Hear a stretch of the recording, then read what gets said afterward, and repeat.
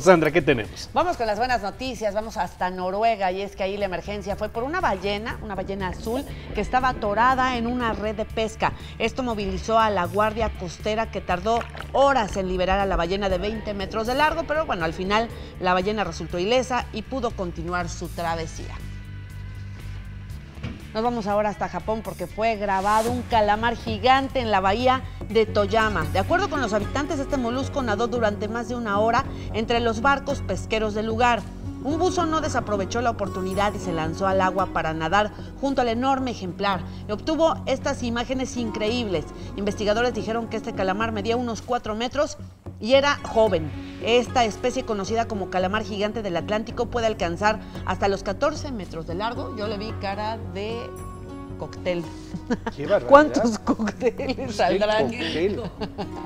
Fíjate que durante mucho tiempo se dijo que la existencia del calamar gigante era mitológica, es decir, que no existía. ¿Sí? Relatos de marinos del pasado, de los siglos XV, XVI, hablaban incluso de calamares que abrazaban con sus tentáculos las embarcaciones. Y hay grabados, hay este, pinturas, grabados, eh, algunas litografías de cómo los calamares están abrazando los navíos.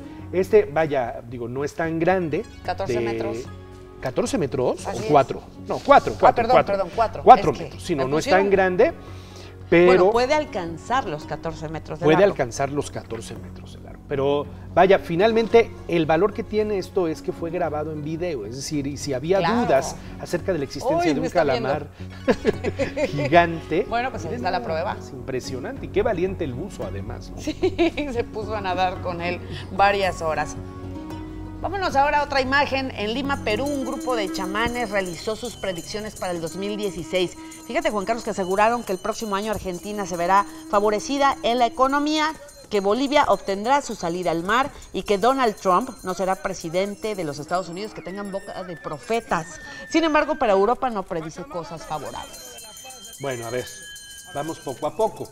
Este, tampoco se necesita ser muy chamán para saber que las cosas sí. en Europa van a estar sí, color caray. de hormiga. Es decir, el tema migratorio para Europa va a generar gravísimos problemas para los líderes políticos de Europa, porque la gente, el europeo, va a empezar a padecer por desempleo al tener que emplear hoy a tantos migrantes que van a cobrar muchísimo menos por su trabajo claro. que el europeo.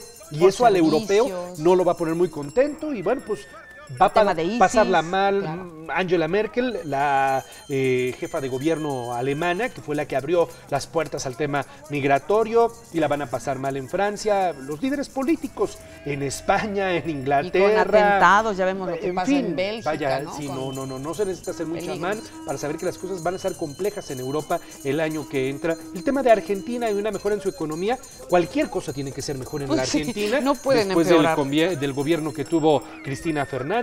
O sea, cualquier cosa tiene que mejorar en Argentina. Y. Donald Trump dicen que no será presidente de los Estados Unidos, por favor. Eso sí, yo tengo ahí mis dudas, favor. pero ojalá, Por ojalá. favor. En Francia vemos y otros países de Europa que va a haber atentados. Sí va a haber los atentados, muertes injustas, innecesarias.